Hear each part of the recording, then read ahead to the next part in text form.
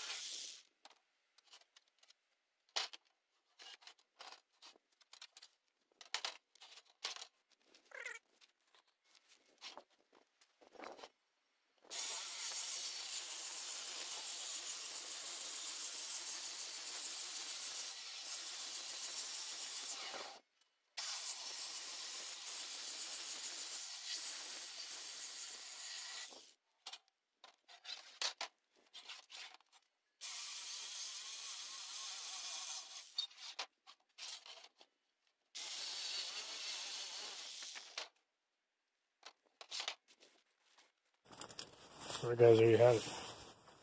I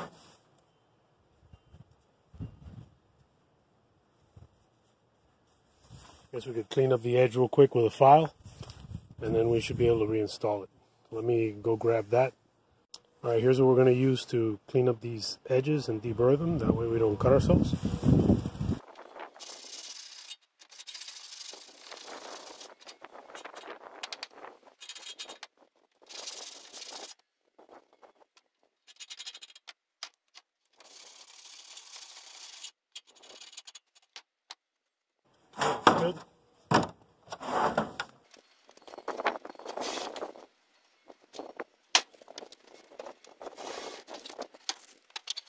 Guys.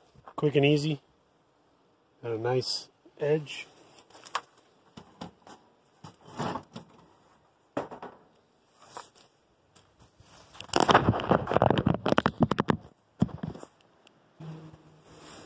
Uh, port cover on the back of a Harbor Freight sandblast cabinet. If you guys are interested in converting this to a vapor blasting setup, you are going to need to hook up some kind of vacuum to it. Uh, this It comes with this cover. Uh, the cover was a solid piece. I went ahead and drilled a hole using a hole saw. It was the closest size that I had to the hose end that my vacuum came with. And what I decided to do today is remake this uh, part incorporating this adapter already on it. Okay, And I'm going to do that is I'm going to design it in uh, Onshape and then 3D print it. Uh, I've already made the part. I'm going to show you what it looks like. And I'll put a link to the STL file in case you guys want to print your own uh, version of it. So if you've ever wondered how these hose ends go on, so the, the hose end plugs into this uh, part of the hose. So you got just the, the standard raw tube, and then you have this insert. And I've always wondered how it is that this thing still can rotate, but that there's no way to pull it out easily. I mean, it's it, I had to cut it to get it to get it off. I had to cut the hose. And to give you an idea, so here here's the hose. I had to cut it to get it off. It has this, you can see here real close, it has this, uh, this ridge here, this protrusion. And if you notice on one side of it, it has an angle, but on the other side it does not. And the way that it works is, it grabs onto this part of the uh, the tube. So once you push it on there, this tube will grip that part of the ring. It will still rotate, but there's no there's no getting this off. I mean this it it lo- it really locks in place. It's something else. And I was very intrigued by this setup and I don't plan to use my vacuum for anything other really than uh, vapor blasting. So I have no problem permanently attaching the hose to a coupler like this. However, if you guys want to be able to remove the hose, and this is just a raw hose end with, with no fitting on it. You want to just be able to remove it on and off. I'll include an STL file that uh, does not have this this ridge on it. That way you guys can just push the hose on and uh, use a, uh, a wire clamp or, or some kind of way to fasten it. And then you can take it off whenever you need to use it for some other purpose. But let me show you the part that, that I uh, that I came up with. So here's the, the 3D printed part. And I made this one in, in two pieces. Uh, this is not necessary. I went ahead and I'm redoing it out of a single print. We'll see how that one turns out, but it worked out really well as a as a two piece. And how you can and you can see compared to the original one.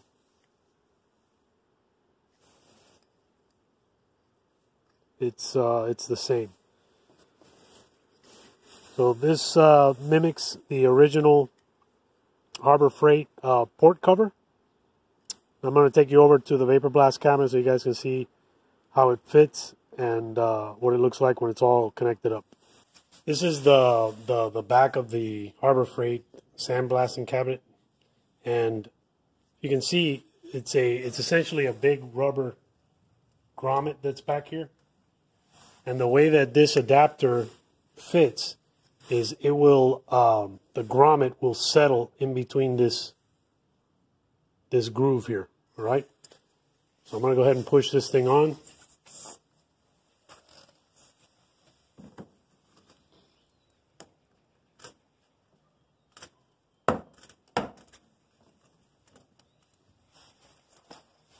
All right so there's the adapter. Let me bring you guys over to the side so you can see it. And then now the vacuum tube will just push directly on there and it will not come off with this ridge. I had all kinds of problems with the way I had it before with it slipping out while I was in the middle of blasting apart for a long time. Very annoying.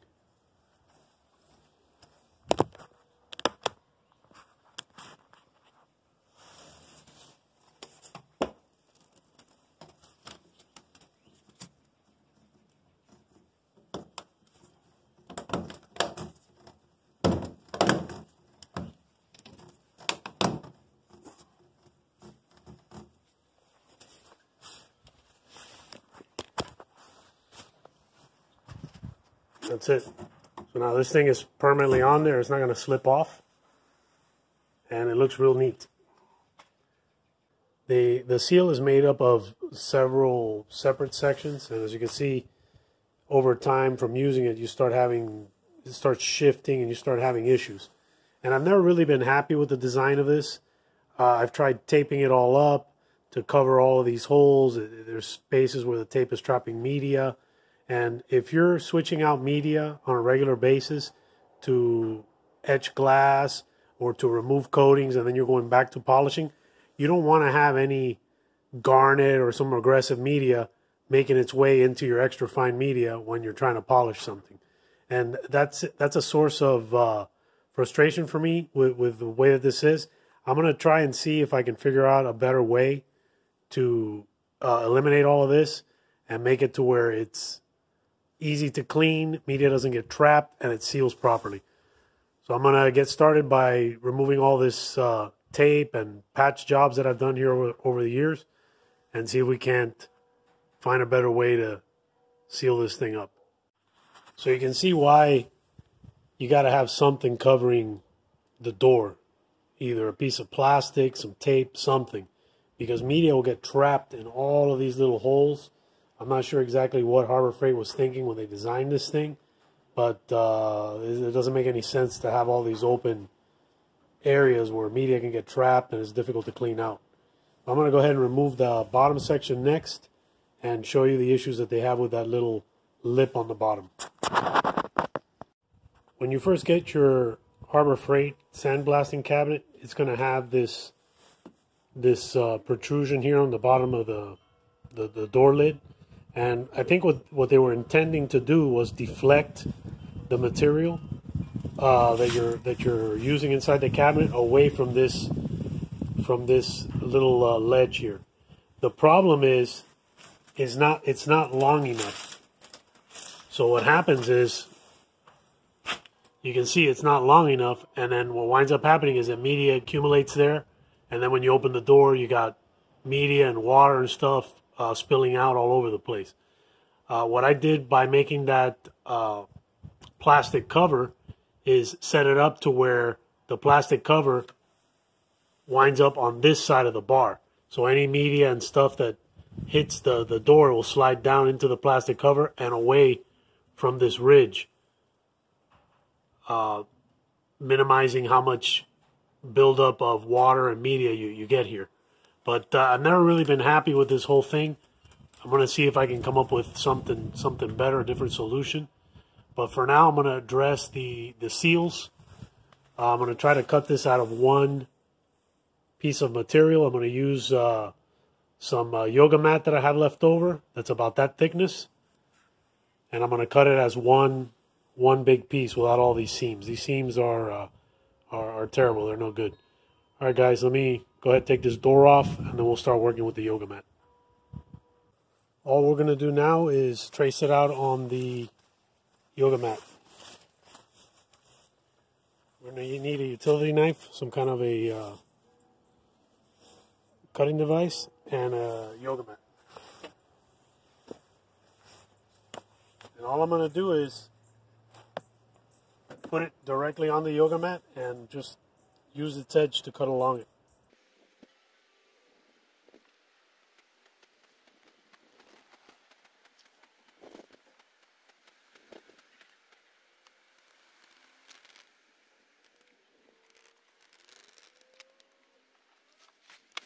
Then we got a one-piece gasket.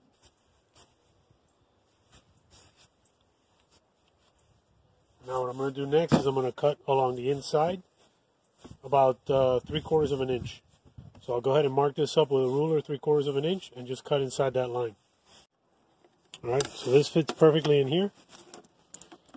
I'm going to use this as the, the guide and just run it along. I'll cut along the inside of this piece. So I'll use the edge as my guide and cut along the inside.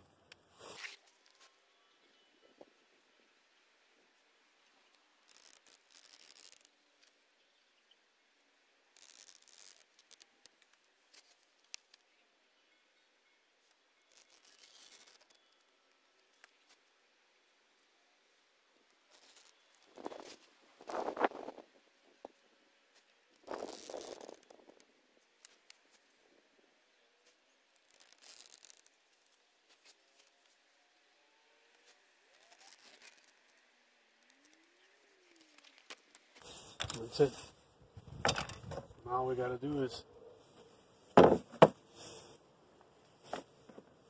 test fit it, make sure it fits okay.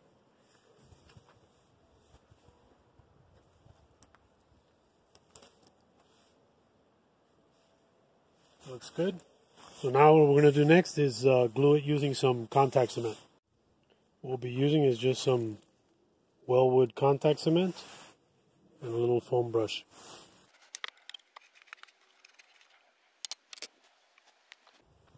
To need to apply it to both sides. So I'm going to start with this part.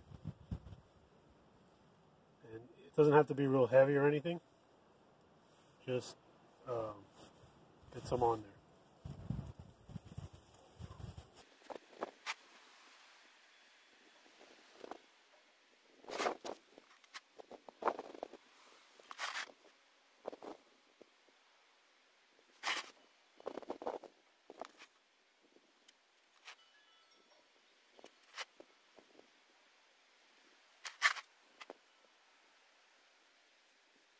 we get it all on here, we're going to set it aside and let it uh, dry almost completely to where it's just barely sticky because the glue will stick to itself.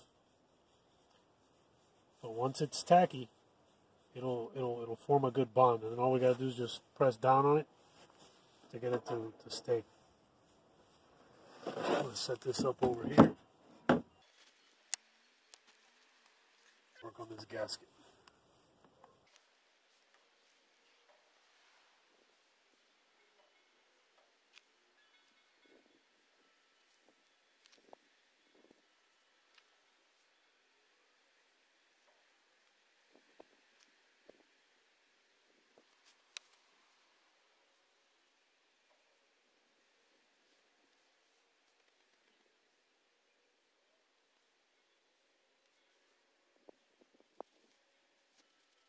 Okay, now we just want to let it sit, get just barely tacky. And we can stick it on. I'm going to pause the video and come back as soon as it's ready. Okay, it's been a few minutes and it's just slightly tacky.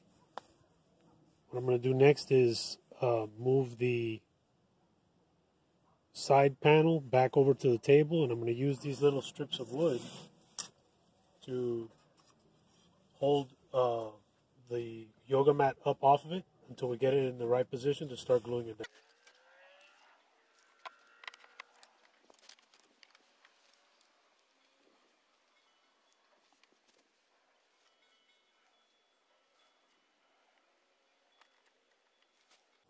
So what I think I'm going to do is I'm going to start off maybe with this top corner first. And then we'll work our way work our way to uh, down into the sides.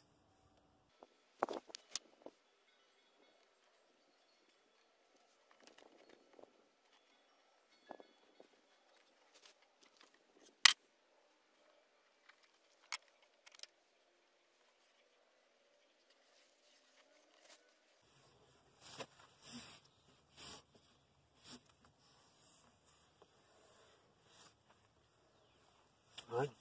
So there we have. We got a one-piece gasket. All we got to do is just reassemble it. If you got any little bits that need to be trimmed off, now would be a good time.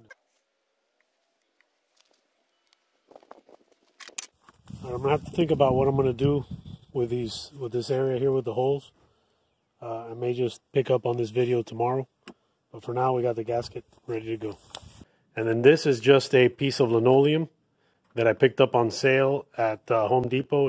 I'm holding this on with some contact cement, and this is working really well. This little flap goes on the inside here, so that when the door is closed and you're blasting inside, the water that, that, that hits the door just rolls right off that skirt. Uh, without it, what will happen is it'll build up on that ledge that's underneath there, and then uh, ca cause you problems. Another thing too that worked out really well is uh, using the yoga mat again for this because I got rid of all the seams in the original uh, foam gasket that it came with. And uh, another thing, another tip that I can give you, it's very important to shim this. So if you put some kind of like a thin shim on this, it will move the door closer to the cabinet. That way there's no gaps. So there's no gaps at all, uh, all along this, uh, this, this, this thing here. And If you look underneath, see turn the light on so you guys can see a little bit better. So you can see underneath, there's no uh, there's no gap. The the water and splash and mess that I get is every time I open the cabinet, whatever water's on the door or on the gasket will just spill out. Anyway, that's something that I got to figure out how to resolve. But for the most part, it works really well. I uh, went ahead and reinstalled the lower shelf. The reason I did that is to stabilize the legs. I needed to move the cabinet the other day, and I was unable to do it because I didn't have the uh, rear shelf. That allows this airline to uh, to drop down. So that goes to my foot pedal, and then from the foot pedal it comes up and uh, back into the cabinet. And then the hose from the pump, again, if I had the shelf here, it, it would be a problem. I would have to bring it up and over. So this way it just goes right along here. Another thing I'm thinking about doing is uh, building some type of little bracket to hold this to hold this up off the shelf. That way I can clean up that shelf whenever water and debris and mess get in there. And this is not from uh, leaking from this this uh, joint. What this is is media and water that spill out every time I open the door uh, when when pulling parts out. There's still water and there's still media trapped on the door itself and in between the gasket. Anyway, that, that's the only messy part about this. Uh, honestly, if if I was to to build my own version of this, which I'm considering doing because I'm interested in polishing some of the wheels on uh, my Evolution 8, what I may do is instead of using a side door like this, I'm going to have the whole top of the cabinet open, which will eliminate all this leaking and all these issues because when you open it, it's just going to run down into the cabinet as opposed to dealing with this door on the side. I really, I never really liked it. Unfortunately, uh, having the cabinet flip up is going to make it take up more of the space. So I'll have to maybe relocate the cabinet somewhere else. That way, when I do open it, uh, it, it has the space behind it to to tilt back. Well, finally, I found a glass manufacturer locally that sells plate glass in quarter inch. And I had them cut this piece out. It's uh, 12 by 24 inches. And uh, this is what I'm going to be replacing the current glass with. So let, let's get started. I'll show you uh, the current setup the way it is. So this is the, the, the dual glass window that I currently have on the unit. And uh, I want to get rid of that uh, double glass setup and go to a single quarter inch. So let me set you guys up on the tripod. We'll take that apart and while we're in there, I'm going to go ahead and upgrade one more thing, and I'll show you guys what that's going to be in a second.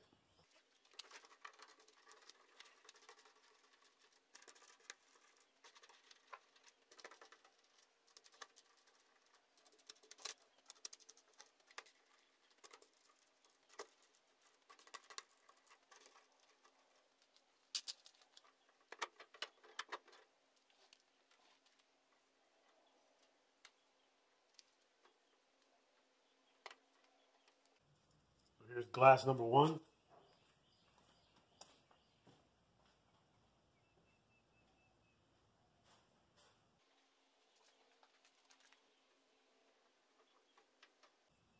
then glass number two.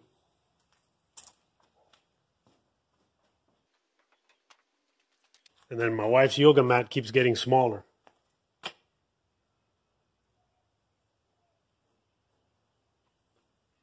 This is this is another thing that you guys might want to consider doing is pick yourself up a, a yoga mat and cut out one solid uh, piece of gasket.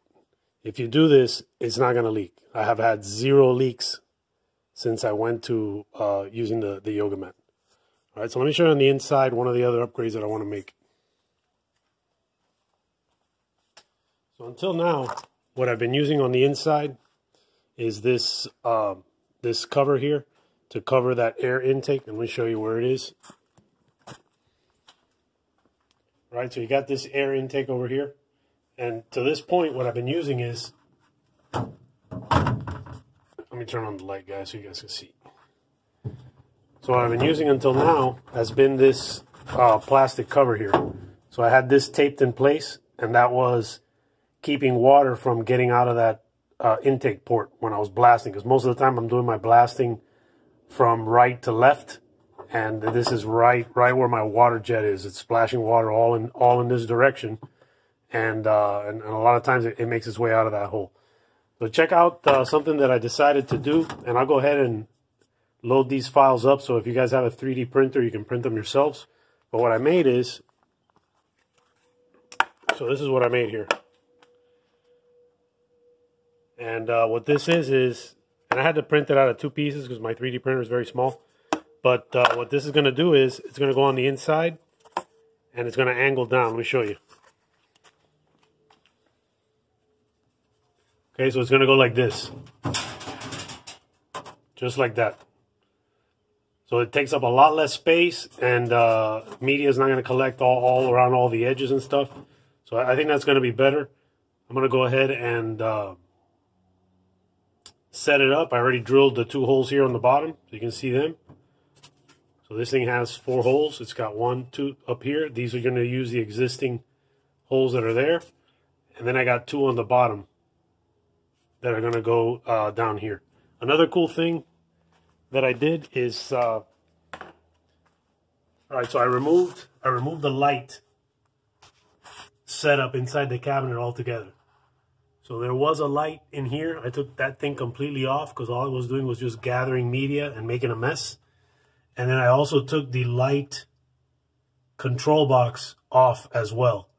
And if you notice, I got these these little black these little black plugs for the holes. And I'm also going to do the same thing with uh, these two lower holes here. So I got uh, a couple little plugs that I'm going to use for that. And let me show you how I made those. So here's what we got. So these are a couple of 3D printed little uh, caps that I made. Again, I'll include these uh, the links to these files. That way, if you guys want to make your own, you can. And let me show you how they work. So here, I'm not going to be using these these two holes at all. I'm going to be putting a screw here, another one over here, and then one on each one of these. So these can just get can just get capped, and all you got to do is just push the little cap on, and that's it, right? So I got a little 3D printed cap to cover up these little holes. Get this one on. that's it. So it's nice and neat. It looks tidy. And uh, water won't get out through those holes now. All right, let me set you guys up uh, back up on the tripod. And uh, I'll get the new piece of glass.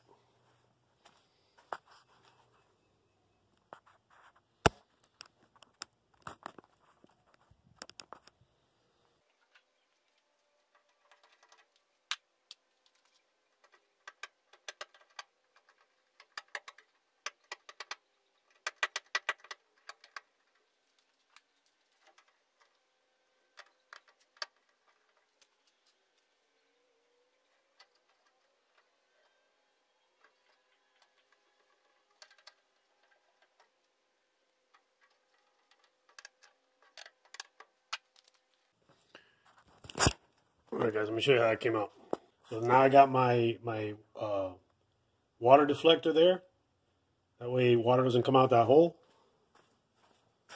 This is what it looks like on this side. And there are the two caps. Another thing I wanted to show you is the uh, vacuum adapter in the back. So I 3D printed that one as well. And I have more details on that. Uh, I'll go ahead and I'll add it to this video. That way you guys can see it. And if you like, you can print one up yourself. Uh, let me put you back on the tripod and we'll get working on the glass. When you're going to replace your glass, just make sure that you clean up your uh, gasket again. That way you're not getting a bunch of glass trapped between the gasket and your new piece of glass. And then just put it back on.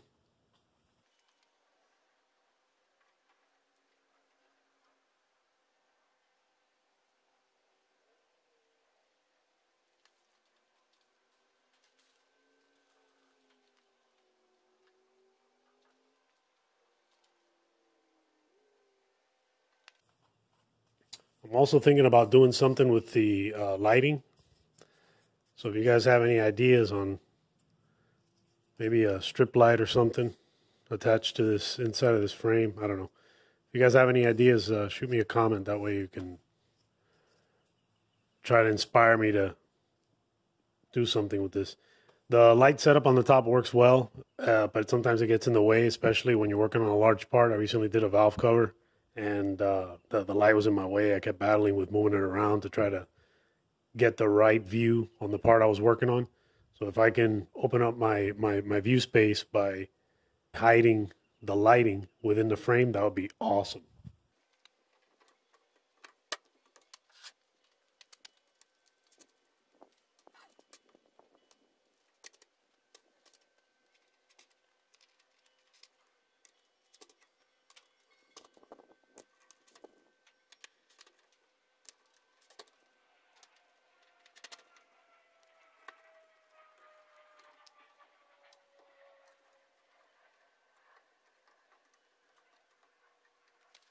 That's it, guys. So there it is all uh, put together. It's got the single glass in it. Let me go ahead and turn the light on so you can see how bright it looks like on the inside.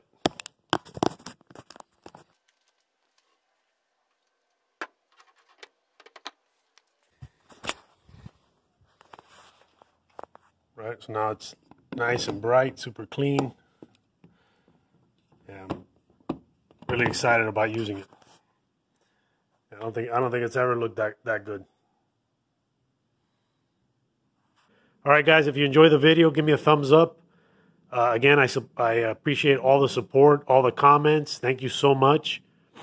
I'll post all the links to all the files that I talked about here in this video.